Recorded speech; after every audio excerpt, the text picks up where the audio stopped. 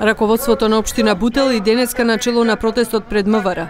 Учесниците на протестот бараа оставка од техничкиот министер за внатрешни работи Оливер Спасовски. Бараме оставка од министеров за внатрешни работи.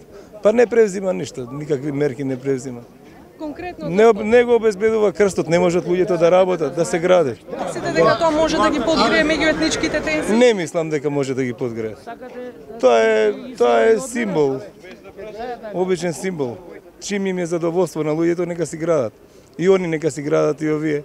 Ние сме тука заедно живееме.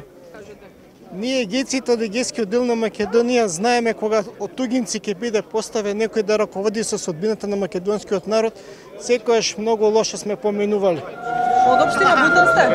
Не, Од каде сте од јас сум припадник на македонскиот народ, не е важно од каде сум.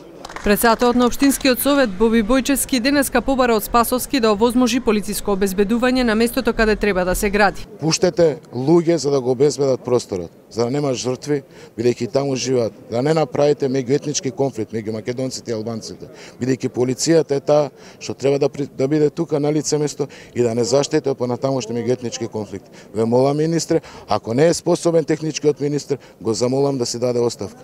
Бојчевски не е против изградба на парк на толеранција во Бутел, како што деновиве се шпекулира во јавноста, но потенцира дека крстот во општина Бутел ќе продолжи да се гради. За парк на толеранцијата ја бе го подржал тој предлог, бидејќи е потребно е што повеќе паркови за населението во општина Бутел и на секаде. И понатаму останува изградбата на крстот во општина Бутел. Учесниците на протестот најавија дека ќе доаѓаат секој ден, додека не се исполнат нивните барања. Од МВР не излегува со информација во врска со протестите.